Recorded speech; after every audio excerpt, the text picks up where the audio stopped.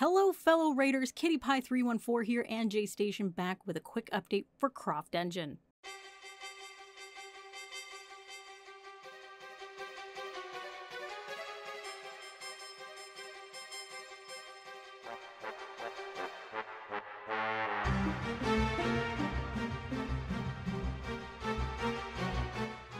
For those who are new here and want to know about Croft Engine itself, the link to our original video can be found in the description below. Today, we'll be talking about our most recent additions to the game's engine. There are now new save tools to assist your gameplay. You might have noticed there's a few save features found under the Others tab to help you in your adventures.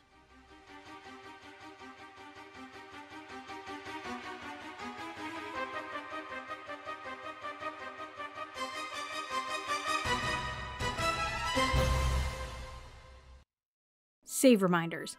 Are you bad for not saving your game? There's nothing worse than realizing you haven't made a quick or manual save in a while, and when you die, you end up further back than you realized. Luckily, there is now an option for a save reminder. This will enable a pop up at the top of your screen that won't disappear until you make any type of save. You can customize it to whatever time interval you would like, ranging from every minute to every hour, to suit your reminder needs preferred saved order. If you don't like to save over old games or have a chance of accidentally overwriting a previous save, when the box is clicked, the save slot will automatically jump to the next free slot. This way, you don't accidentally overwrite the save from the previous line. If you leave it off, the save prior will be highlighted. Doesn't matter which one you choose, you can still save anywhere you like. Delayed saves. This option is for the manual save only. Sometimes we like to have multiple saves, whether it's to have a save for your favorite spot in the game or a lineup for practicing strats. And sometimes we get a little trigger happy. With delayed saves, enabling it will help prevent overriding a previous save or accidentally saving when you meant to load. With the timer set, it will require you to press and hold the action button from 1 to 5 seconds, depending what you decide is best. This will confirm the save that you want to write to the selected slot. From our previous video, originally Croft Engine allowed you to play Tomb Raider 1, Unfinished Business, and Sabatu's TR1. We now have the ability to play a few new levels and are compatible with the multiplayer server, the Tomb Raider City of Vilcabamba Part 1 and 2 demos, and now another custom 4 level game by Feder's Nordic Adventure. The Vilcabamba demos are exactly that two small showcases of the level of the city of Vilcabamba. The demo number one is the first open section of the level, and the second is the end game of the level. They may be small adventures, but one you can definitely scratch off your Tomb Raider experience bucket list. Nordic Adventure by Feder is our next expedition added to the list. The Tomb Raider community is filled with talented level editor designers, and like Sabatu, we wanted the ability to help showcase Feder's Nordic Adventure. It is a beautifully constructed four level game.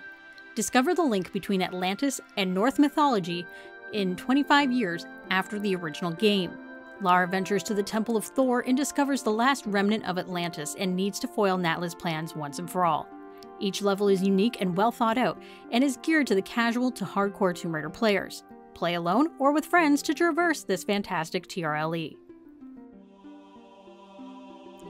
With the ability to use Croft Engine to experience TRLEs, it allows us to showcase these works all in one place while giving you the ease of access to controls and visuals that you can adjust to your liking.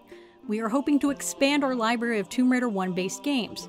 If you are a Tomb Raider level editor designer who builds or has built a game within the Tomb Raider 1 framework, we would love to hear from you. Or if you're a Tomb Raider 1 enthusiast who would like to recommend a Tomb Raider 1 TRLE, please join our Discord, where you can join the conversations or participate in community events.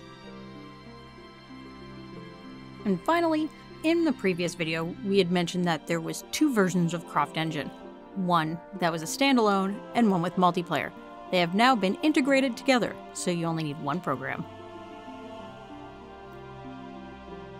We know this isn't a big video, but we would like to say a huge thank you for all the support for our previous video and for those who have joined our Discord. It is you who helps keep this project going. Stay tuned for more updates in the future, and as always, a gigantic thank you to Storin and Shirashima for the time and efforts they put into this project. Much loves, and bye for now.